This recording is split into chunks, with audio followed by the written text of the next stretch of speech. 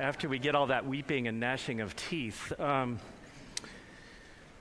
uh, and what are we supposed to do with this furious day of the Lord where the Lord is coming in wrath, right? Um, that permeates all of our texts. It permeated the Zephaniah text, it's in the Psalm where it talks about a God of wrath.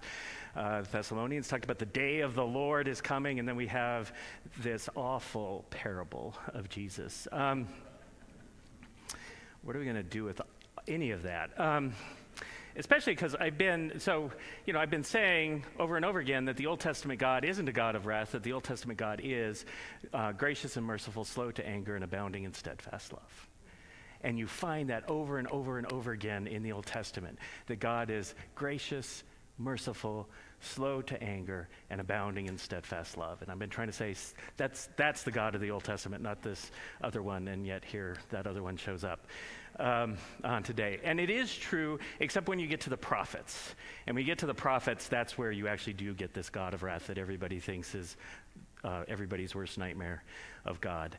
Um, let's locate ourselves uh, temporally in time um, we exist here in this space in an alternate time universe. Um, it's called liturgical time. Um, it's the nature of being an Episcopalian that we live in this alternate calendar where the beginning of the church year starts at Advent. So the beginning of our year starts at Advent and it moves towards Christmas and we tell the life and story of Jesus and we move towards Easter and then we get to Pentecost and then we have this long period that they call Pentecost. Back in my childhood, they called it ordinary time. And we come, we're coming towards the end of the church year. So where we are located in time is the end of the church year, which is actually next Sunday which will be culminating next Sunday in the reign of Christ. And so you get all the texts start talking about the end of things, the end of time. Last Sunday I talked about the second coming, right? In this notion of a second coming of Christ. Today we have the day of the Lord, Judgment Day. Um, you know, we can look forward to what happens next week. Um,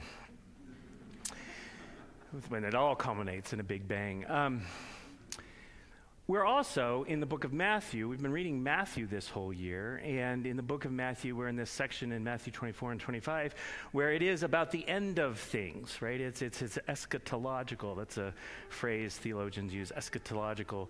So we're, in, we're, we're both in the church year and in the calendar. We're at the end, we're at the culmination, which is why we get all these ta- texts talking about Judgment Day. That's why it's happening now. Um, and uh, it would be easy to go ahead and, I think, dismiss these t- this text, dismiss the wrath of God, right? It's so much easier to say, well, I don't like that God.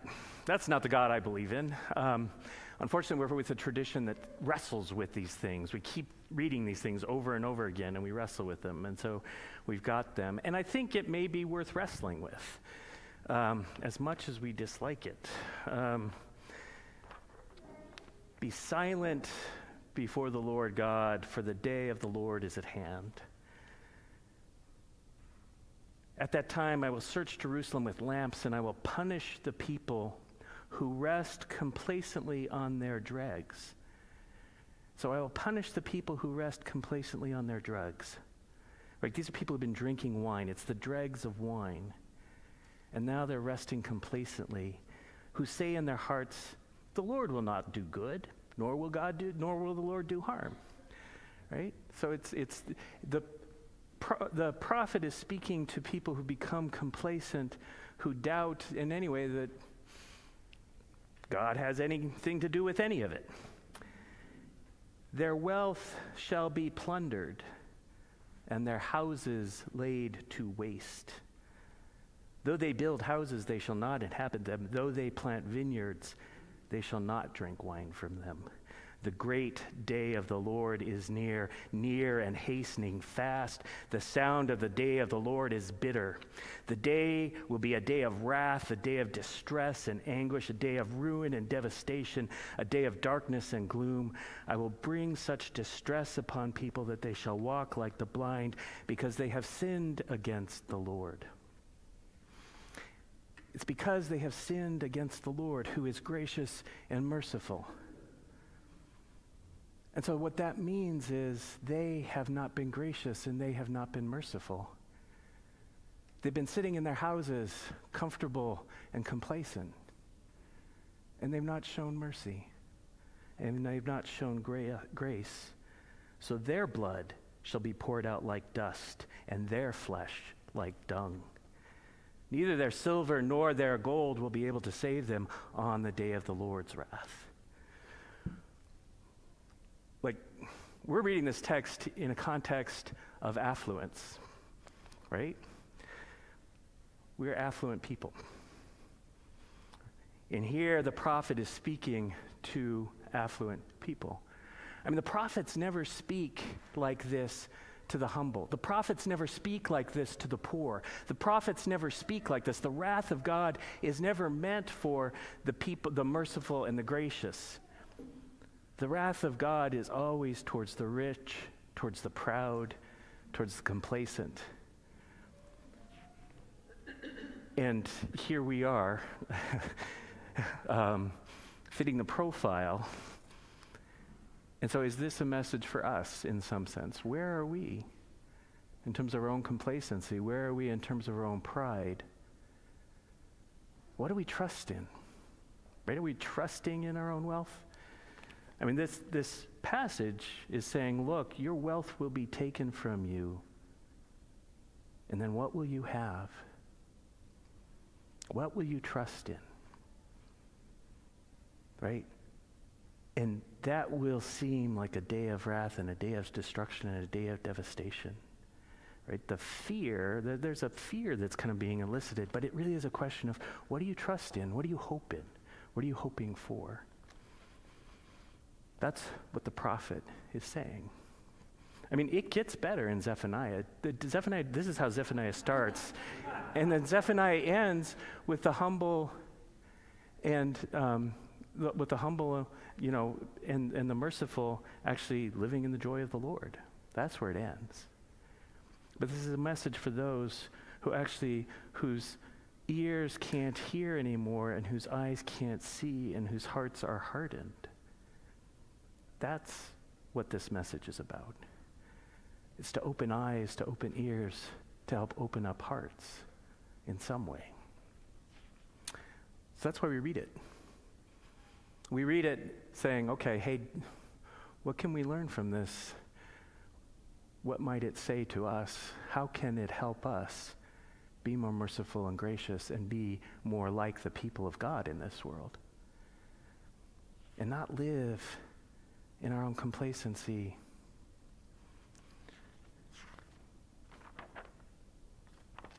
The gospel text. I want to segue then to the gospel text where you know, ends with this weeping and gnashing of teeth. And I think it's also about fear. It's also about our connection to the divine. I, what are you going to trust in? Are you going to trust in your wealth? Or are you going to trust in the character of the divine? And ironically, this passage is and seems to be about wealth. It's this weird economic system where there are masters and slaves. Um, you have a master who's actually loaning his wealth to his servants and allowing them to use his wealth to generate more wealth, right? Um, and to those who have much is given, and to, to, those who don't have much will be taken away. And it ends with the poorer of the bunch in the place of weeping and gnashing of teeth. I think what's troubling is the way that this passage gets read as if this is really what the kingdom of heaven is like. But we miss, I think, the hyperbole that's going on here. Jesus is talking about talents. There's five talents, and there's two talents, and there's one talent, which doesn't seem like a lot. Um, but in the ancient world, a talent was the largest measure of wealth, it was the largest um, denomination that you could use. Um, the typical standard denomination was the denarius. So there was a coin, a denarius. And if you worked hard, uh, it represented a day of your labor, a day of your life. So if you worked for somebody for a day, they would give you a denarius in exchange for your life. Your life energy, your life force that you had given by working on that day, you receive a denarius in return. So, denarius is one day of your life. That's what it represents. A talent is worth 6,000 denarius or denarii. Right? So 6,000 days of your life, that's how much a talent is worth. That's about, if you get two days off a week, that's 20 years. One talent is 20 years of your life. So if you have five talents, that's 100 years of your life. And so in this story, and Jesus' hearers are hearing that, they're hearing, oh, that's an amazing number. One person is, the master is giving one person a hundred years, what represents a hundred years of life and how it's lived. And this person takes that hundred years of life and living and uses it to replicate more. Who lives into this sense of abundance and, and, and you know, uses it to do good and spread just more life, more abundance. That's what's happening. And then you've got some, and, and you know, when the person comes back at the end and says, Look, I've, I've, I've doubled it, the master says, Well done, good and faithful servant. Enter into the joy of the master. Enter into the joy. Because that's what it's about. It's about joy. You got the person with two talents, which represents 40 years of living. 40 years of life, 40 years of energy spent in creativity and, you know, imagination and construction. That's four, that's two talents right there, 40 years. And this person takes their 40 years of, of, of, of energy and life and does it, and again creates more good, more creativity, more beauty in the world and comes back to the master and says, Look, I've doubled it. And the master's like, Well done, good and faithful servant. Enter into the joy of the Lord. And then you have the last person who only has one talent, which is 20 years of living, 20 years of life, energy, one talent. And the, what's curious and what's different here is not so much the amount that's given as it is this person's relationship to the master, this person's conception of the master. This person lives in fear. And fear is always a spiritual condition. Fear is a profound spiritual condition. When people live in fear, they, they withdraw into themselves, they get defensive, they, they have a sense of scarcity. When people live in fear, it's often hard to have an open heart or an open mind. Like it's a profoundly crippling, disabling place to live from. That's why safety is so important. This man is afraid. He's afraid of the character of the master because he, he thinks that the master is um, a harsh man reaping where he does not sow, gathering where he does not scatter seed. I was afraid and I went and I hid that talent. I went and I hid that 20 years. And it becomes this self fulfilling prophecy when this man is living in fear, thinking that the master is harsh, thinking that the master is punitive and retri- retributive. It squashes and quelches what that person can do. And so at the end, when the master comes, he's got nothing to show. And then his sense of fear becomes a self fulfilling thing where he ends up in this place of weeping and gnashing of teeth. I mean, the, one, the ones who didn't live in fear ended up in joy. The one who lived in fear ended up in the place of the weeping and gnashing of teeth. And I think the point is I mean, to not, it's about the nature of how you understand the master. Like, is the divine retributive and punitive? Is the divine something we should fear, like on the day of the Lord where there will be destruction? Or actually, is the divine merciful and gracious, slow to anger and abounding in steadfast love? I mean, there's a choice there. And the choice we take will determine how we live. Amen.